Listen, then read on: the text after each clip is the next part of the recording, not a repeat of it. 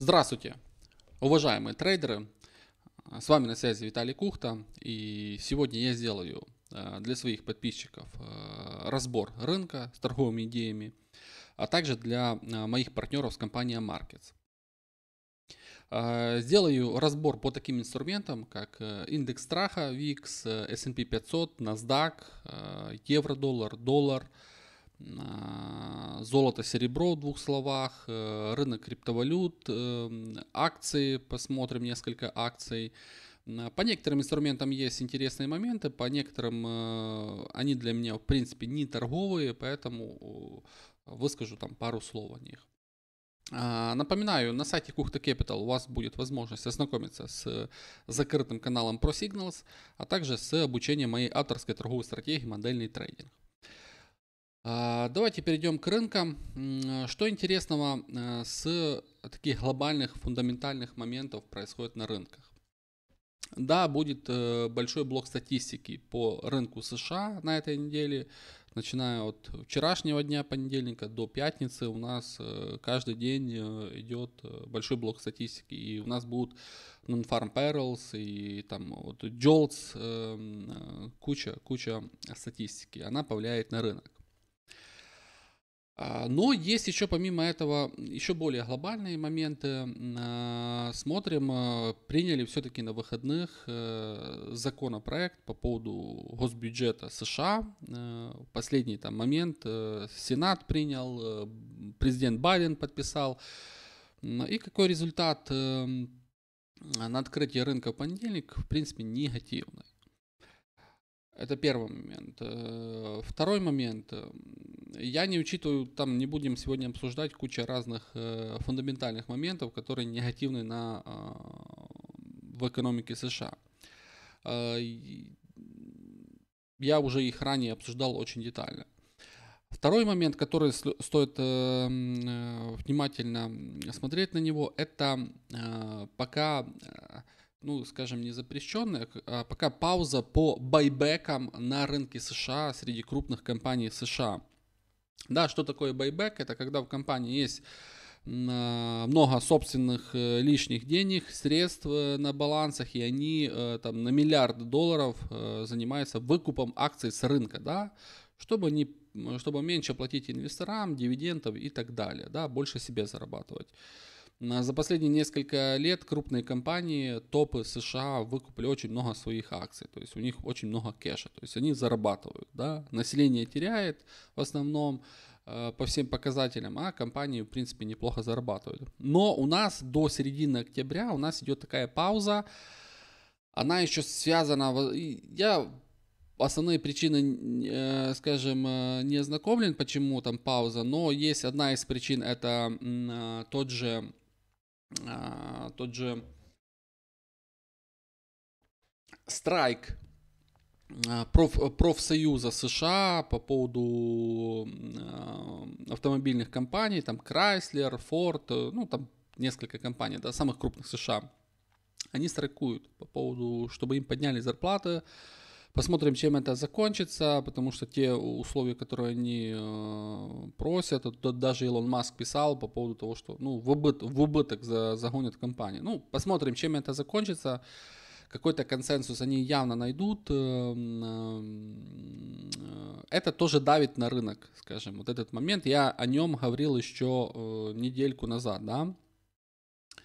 Это стоит учитывать. А, ну и, в принципе, это все, э, если так смотреть по таким основным важным моментам. Э, давайте перейдем непосредственно к рынку. А, начнем с индекса страха. Напомню, индекс страха возможно торговать в компании Markets. А, я ранее советовал его покупать еще с уровня 15, то есть мы его здесь торговались эм, аналогично как и S&P 500 шортить с максимумов. Мы, в принципе, неплохо выросли, но я думаю, этот, рост, этот рост по индексу страха еще не закончен, и я бы дальше его покупал с как минимум с еще одним пробоем, э, проколом вот этого уровня 19.50, возможно даже выше, уйдем достаточно сильно. Да? Поэтому я бы его покупал с текущих, даже если мы немножко будем откатывать, я бы его подбирал э, с каким-то основным риском э, в районе там 16 пунктов. Да? Вот если мы туда зайдем, конечно, мы можем здесь какой-то боковик такой нарисовать, еще раз где-то в район 15 спуститься, это я не исключаю, и только потом стрельнуть наверх. Поэтому индекс страха покупаем, видим, что рынок держит э, инвесторов в страхе. А, ну, непосредственно индексы фондовые. На выходных я еще э, в обзоре говорил, что возможно работать на коррекционное движение, но видим э, никаких позитивных моментов от э, принятия госбюджета не получилось, и рынки показали снижение в пятницу, да, э, точнее в понедельник. А, я посмотрел там несколько акций, достаточно все красиво закрылись. Эм, вчера акции, ну, там я несколько акций посмотрел. Ну, они более связаны с NASDAQ. NASDAQ вчера неплохо закрылся, э, но S&P Dow Jones достаточно плохо, поэтому по S&P я бы советовал шортить с текущих, если мы даже будем откатывать, я бы добавлялся в шорты. У нас пока ключевой локальный уровень это 4350 э, пунктов. Это максимум вот, э, вот, этот, вот этот локальный откат, который у нас есть. Да. Э, я еще не исключаю, что могут быть какие-то ловушки, и у нас э, будет какая-то более глубокая коррекция. Это нельзя исключать, поэтому кто среднесрочно торгует, я бы, э, если мы все-таки с текущих не будем падать плюс-минус и будет коррекция, я бы там добавлялся на более сильное там, среднесрочное такое снижение. Поэтому S&P э, пока шорт, конечно, с э, каким-то определенным риском, чтобы не было такого, что S&P э, делает глубокий откат, и не только этот откат, получается, мы идем на обновление исторических максимумов, да, даже вот э, за последние несколько месяцев вы теряете депозит. Да, это с каким-то вы просчитаете свой риск, потому что это рынок может быть все, да. Поэтому э, S&P пока шорт. Вот по NASDAQ ситуация чуть сложнее, потому что и видим, что поджимают. Вот э, я говорил, что э, S&P и NASDAQ возможно покупать спекулятивно, локально. Мы, в принципе, вот немножко от, откупили его, да, кто здесь покупал, в принципе, мог заработать. Мы локальные цели я ставил на уровень 15 тысяч. И, возможно, даже чуть, чуть глубже будет этот э, прокол, откат такой по э, NASDAQ. Э, но я бы э, работал на основной сценарий. Возможно, конечно, спекулятивно еще будет какой-то рост, но я бы пока набирал шорты с текущих. Если будет ложный вынос, дальше добавлялся. У нас пока мы находимся в этом таком локально нисходящем тренде, так его можно назвать условно, да, я бы видел пока падение по э, NASDAQ, да. Поэтому э, индекс страха покупаем, NASDAQ, э, S&P шорти, да, S&P чуть лучше. В двух словах по металлам. Напомню, каких-то новых точек входа я не вижу, потому что мы просто сыпемся по данному инструменту. Напоминаю, на, на последней битве аналитиков на прошлой неделе с Артемом Деевым мы шортили э, золото, да, я аналогично э, шортил, советовал шортить и говорил, что среднесрочно я жду золото на 1800. Мы практически его сделали, там, 1816, да. А, возможно, еще мы сюда добьем, возможно, ниже еще будет, да, потому что есть куда откатывать. Но как видим, э, очень хорошо э, золото отработалось. Я этот сценарий такого среднесрочного шарта вынашивал э, все лето, да, и мы пошла реализация такая сильная только в э, октябре, да, осенью. Даже мы в сентябре что-то там болтались и пытались откатывать немножко. А, на текущий момент э, точек входа я никаких не вижу, покупок аналогично. Я буду ждать, что здесь будет дальше происходить. Если будет какой-то мощный паттерн на, на разворот золота, на, на рост, тогда я буду говорить. Пока нету. Да? То есть э, мне уже хватает несколько сделок по индексу доллара, там несколько рисковых я уходил, и они не сработали. По серебру в двух словах здесь аналогичная картинка. Тоже вынашивал среднесрочный шорт. Вот с этого накопления он мне прям напоминал вот э, август. Про, про, прям аналогичный период прошлого лета. Вот. Здесь аналогично, мы отпадали и плюс-минус где-то в ближайшее время, если будут какие-то подтверждения покупок по серебру, по золоту, я буду смотреть. А, так, в двух словах э, нефть. Э, нефть очень красиво падает. Э, я напоминаю еще на прошлой битве аналитиков и, в принципе, в обзоре последнем своей, своем я советовал шортить нефть. Мы, в принципе, неплохо отпадали. На 90 все-таки сделали, даже ниже. А, и а, что это происходит по нефти? Это коррекция или это разворот тренда? А, вопрос открытый. Да? То есть, у меня есть такой принцип, если есть точка захода, вот я советовал своим подписчикам шортить про сигналс. Мы сидим в шортах, получится средний срок, заработаем много денег.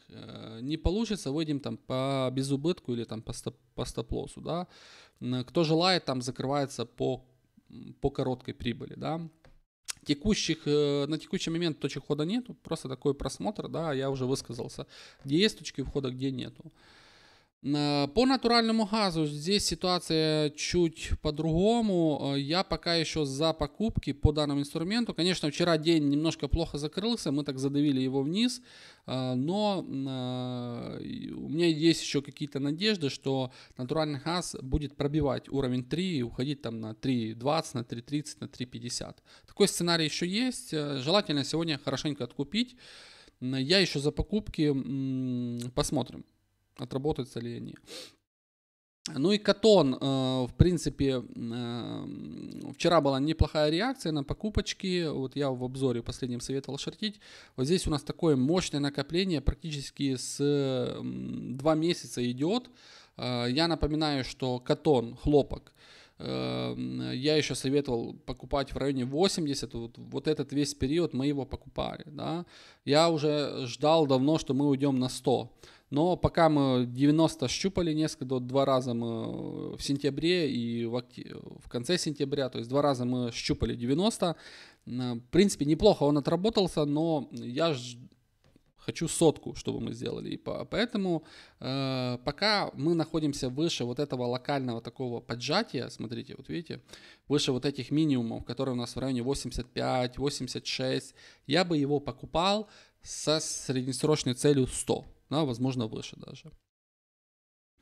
Так, в двух словах э, по индексу доллара. Индекс доллара э, еще находится в тренде, поэтому здесь пока говорить все э, о покупках, конечно, я думал, что какие-то будут коррекции по данному инструменту, но видим, трейдеры ищут защиту от риска, да, там уходят с рынка акций, покупают облигации, покупают доллары. Понятно, что когда трейдеры, инвесторы продают э, свои акции, они переходят в доллары. Поэтому я бы индекс доллара дальше бы работал на покупку, пока никаких признаков нет. Вот я пытался вчера зашортить и не сработало, не сработала моя идея. Там, с небольшим стоп-лоссом я пока за покупки. Аналогично по евро-доллару. Евро-доллар мы э, сумели э, вчера пробить э, даже вот ключевой такой уровень 1.0490. Э, плюс прошлонедельный минимум мы пробили и закрепились. Поэтому здесь пока все смотрится на падение. И здесь просторы открыты. Сделаем мы 1.04, 1.03, э, посмотрим. Но пока я за снижение, никаких признаков. И не буду ловить какие-то сложные. Возможно, буду, если будут сигналы. Но лучше подождать хорошего примера, потому что четкий тренд э, и э, пока за снижение. Поэтому индекс доллара лонг, евро шорт, фунт и другие пары аналогично. А, ну и по доллар рубль здесь просто красиво все отрабатывается. Напомню, и на прошлой неделе, и на позапрошлой неделе в районе, когда мы торговались 96, вот здесь в этом накоплении, я говорил, что а, доллар-рубль у нас целится на 100, на 100, на 102, да, 100 мы сделали вот сегодня, да, 100 ровно, даже чуть перебили. И, возможно, в ближайшее время мы сделаем 102, возможно, выше, я не знаю. То есть э, посмотрим. Возможно, это уже был потолок. Но, в принципе, кто покупал э, эту пару, то, в принципе, он мог заработать на, на этом инструменте. Я активно в обзорах своих советовал покупать и в закрытом канале ProSignals. У меня есть, э, скажем, кто торгует эти инструменты. Я их не торгую, доллар-рубль лично. А, и были еще вопросы по доллару гривна, да. А, я, в принципе, отвечал уже на этот вопрос в своем прошлом обзоре, ну, в двух словах, да. Я график не смотрел, в принципе, можно посмотреть. А, давайте в двух словах я добавлю.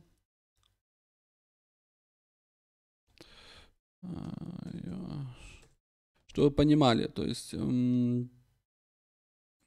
я говорил в прошлый раз, что э, так, здесь такие графики, прям не ликвид, ну понятно.